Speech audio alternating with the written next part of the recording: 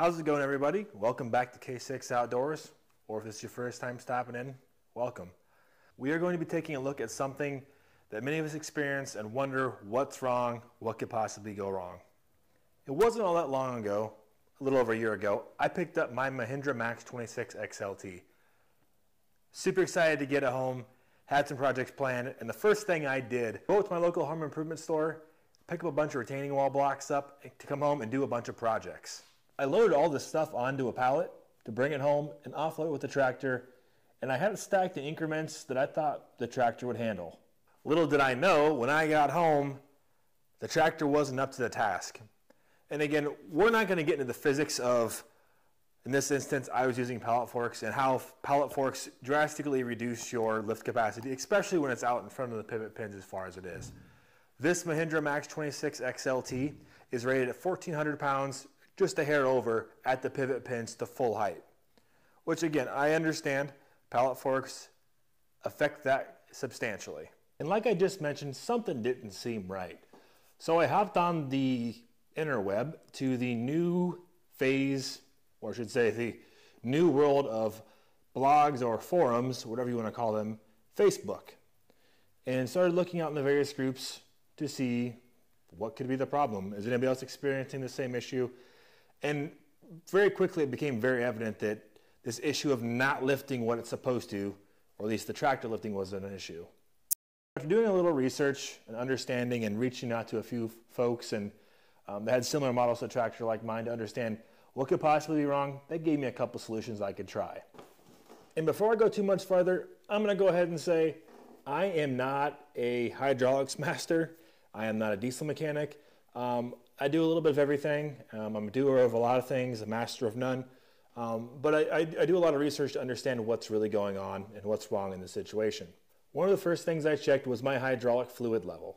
Sometimes having too low of a fluid level can cause issues and um, not allow your system to build high enough pressure that it should. Again, that wasn't my problem, but that's one of the first things you can check. I should also say, what I'm about to show you may not impact all tractors, and some of them may not have this option. This is something easily you can try and is cheap in the world of checking and, and fixing things. So the second thing I did was contacted my dealer to see, have you guys had this same issue before? No one's really reported it, they said, but I let them know what was going on, a couple of my symptoms. Some of the symptoms I had with my tractor was for one, like I said, it didn't feel like I could lift as much as it could. I mean, I was only had a couple hundred, three, four hundred pounds in the pallet forks, and I couldn't even get off a trailer that's you know two feet off the ground. The second thing I noticed was in four-wheel drive and in low gear, I couldn't spin the tires. I mean, loose gravel and dirt, both the same. It was basically just you could hear the system bypassing or something just wasn't quite right. So I gave the dealer my feedback to see what was going on and said, hey, maybe my hydraulic pressure is low. Again, based upon some of the conversations I've had and research I'd done, hydraulic pressure is the, well, is, is what makes your tractor run. Whether it be the, in this situation, this is a hydrostatic tractor, HST transmission. It requires hydraulic pressure to run the transmission and as well as, again, like I said, the various implements, like in this instance, a loader. So long story short, my issue on my tractor was hydraulic pressure. Again, the other quick and easy thing to check is your fluid levels. If it's none of one of these two, either it's hydrostatic pressure or hydraulic fluid levels, you may have a couple of other problems, whether something's plugged up, um, maybe the pump's not working the, not working correctly, which again would show you probably in your hydraulic pressure, or maybe you need to add a shim to the pressure relief valve in your in your spool there on your loader valve, or whether it may be. They're located in different spots on tractors. Again, this is not a cover all, cure all for all tractors. This is how mine got fixed. This is some stuff you could look for, and you may be able to apply it in your situation to your tractor because I'm guessing they're built very similar, right? It's just a matter of where these pieces are located and how you check it. So I thought I would take some time and share with you guys how I can check mine and how I double check. I picked up this whole setup on Amazon. Again, I picked up this oil filled um, pressure gauge. Uh, I'll put all the links to this stuff below for my Amazon affiliate account. Um, just remember, if you guys buy anything, I do get a little bit of a kickback, but it's of no expense to you, and it's something that Amazon pays out as part of their price to sell goods. I had to pick up a 3 8 to quarter inch NPT reducer so I could connect the um, fitting to the pressure gauge, and then I had to get a fitting. And keep in mind, every tractor is a little different. I had to do a little, quite a bit of research because there's a lot of different profiles and a lot of different ones for different tractors.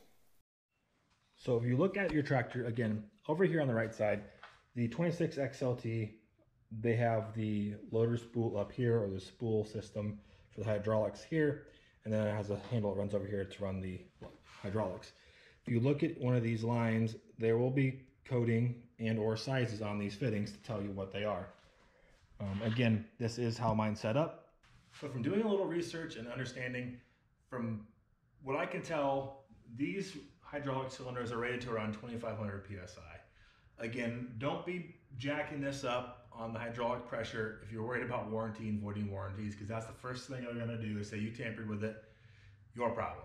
Um, and obviously damaging, bending things is not a good thing you wanna do either. So what you can do to check this, get the hydraulic setup you need, and then install it on your tractor.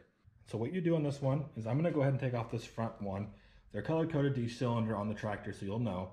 But I do know this front one is for my uh, dump function on my loader. So I'm gonna go ahead and take this one off. Again, um, make sure when you're doing this, you keep all the fittings clean. Um, you don't want dirt getting inside the hydraulic system, that's gonna have problems. So taking that off, I'm gonna go ahead and put this new gauge I got on here. Like so. Some other people do use longer extension hoses on this, depends on your application. I could have it here too, but I really didn't see the need to spend another $16 on a 16 inch section of hose. I really didn't need. If there's a tighter spot, I might consider it.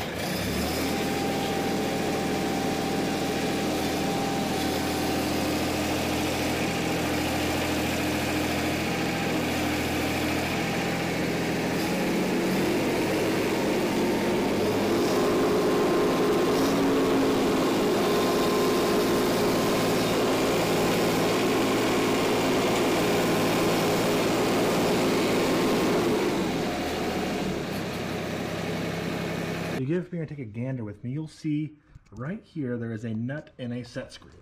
And mine is almost twisted all the way in. Again, you'll see right here a nut and a set screw. And like I said, mine's almost all the way in, so they could adjust the pressure as high as they could.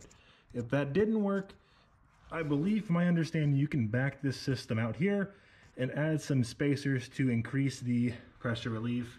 You can back that off while holding the set screw, turn it in a few turns, and then you know, a turn and a half, tighten it down, and check again the hydraulic pressure and see what happens. It's a quick, easy trial, and with this gauge setup, it gets you there pretty quick. This next piece here, don't go saying, oh, Kyle from K6 Outdoor said I could do this. No, no, no, that's not how this works. I'm just showing you guys a way you could fix a problem, and if you choose to do it, you're doing it at your own risk. Again, this is all by you. This piece can affect your warranty. I'm just showing you guys a way you could fix a problem, and if you choose to do it, you're doing it at your own risk. Again, this is all by you. So that set screw I showed you, oops, ruining the surprise. That set screw I showed you on this specific one in lock washer, all it's doing is putting more tension on this spring, which is basically making the tractor take more to bypass the system and therefore increasing hydraulic pressure. Another way you can fix this, if this doesn't have enough travel and you can't get it to work, again, almost all these hydraulic tractors, I'm gonna say all of them. I know for sure Kubota does this. I know that I've seen it on some Kioti tractors. I mean, again, if it's got a hydraulic system, it's got adjustment. Take this off. This just unscrews out of that of that uh, spool block, and inside of it, be careful. Some of these tractors may have shims in them already. And if you want to increase that, be careful when you can dump this out. So you do not make sure there's not any shims in it. Mine doesn't have any shims. It's just the spring in there. So this is what's controlling that pressure. If you want to increase that pressure more, again, heed what you're doing. I'm not doing it on mine. Mine's under warranty all you do is put some shims down inside here.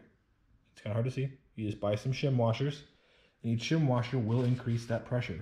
One thing you can do if you need to increase more pressure above the 2100, again, these, a lot of these tractor cylinders, the, the seals are rated up to 2500 PSI. Don't quote me on that based upon readings I've done.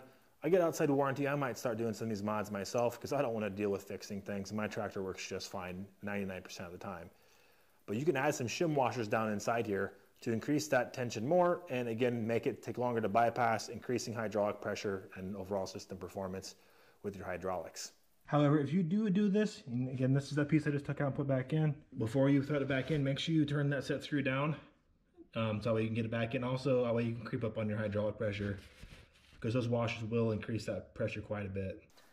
Well, I hope you guys found this quick tip, well, two tips really informing, and maybe it'll benefit you as well. Again, check the hydraulic fluid to start with. That's usually not going to be the problem, but if it's low, that's going to significantly reduce your, your uh, pressures and because it doesn't have enough pressure to build because it doesn't have enough fluid. Um, and again, if something's small and enlarged in the system, what we're doing here is not going to fix it. This is just intended to be a quick thing you could check, uh, low cost, without having to take it to a dealer um, and, and go from there, right? Checking this pressure is really easy to do. Again, all you're doing is deadheading the pump. It gets a pressure gauge to see what it's at. And right now, I was at 2,000 RPM. I'm seeing around 2,100 and 2,150 PSI, which is what the, the book says it should be at to get the specs we need for the tractor. Keep in mind, pallet forks drastically reduce your lift capacity, and if that's what you're using and trying to gauge it against, it's not going to be it. Tractors are rated at the pivot pins and not three foot in front of the bucket. So every foot you're out in front of that bucket, it's going to drastically reduce that lift capacity. Sorry if this is info you already knew and something you already tried, but I know there's a lot of people out there concerned about their capacities, and for about 40 bucks, you can test this yourself. Again, I'll put down below in the description the uh, specific hydraulic fittings that I use for this tractor. Pay special attention to the profile of this. Um, again, I'll, for this one, I'll put it down below. I also put a link to Ken's bolt-on hook stuff. They have a whole good hydraulic section there. You can buy pre-built from them. It's like 50 bucks to set up, or you can save yourself 15 bucks and get this hmm. bought on Amazon put together yourself. And if something's wrong, you return it quick and they'll send you new. Let me know what you guys thought of today's video. Give me some comments down here below. Thumbs up if you liked it, if it helped you. Thumbs down if, well, thumbs down it's better than nothing at all. Again, the constructive feedback is always good.